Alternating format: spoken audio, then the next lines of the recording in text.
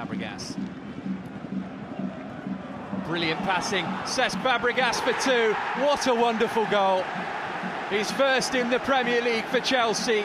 It came at the end of a sumptuous move. And now Chelsea have some daylight. It's Palace nil, Chelsea two. It's Fabregas on target.